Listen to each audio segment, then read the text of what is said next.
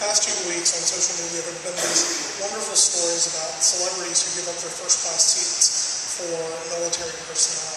And if you've flown recently, you know that it is a significant endeavor. You have to take your shoes off, you have to take your belt off, you get harassed by a couple of people, um, make some new friends, and then you have to run down, uh, run down the, what do they call know, the thing, the the hallway. You know, the long hallway. What? Yeah, sure, that. Um, you have to run all around for this, and there's so much that can go wrong in all of this. There, there are moments, literally seconds, between missing your flight and finding your next connecting flight and getting on the right plane and getting on the wrong plane.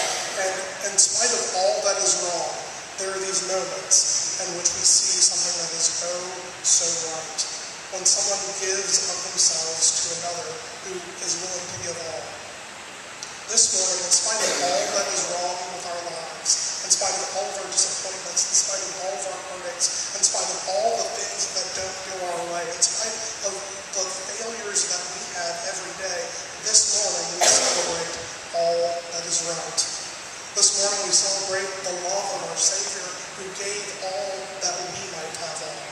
This morning we celebrate that. This morning we celebrate that God so loved the world. This morning we celebrate that awesome God. Will you stand as we worship?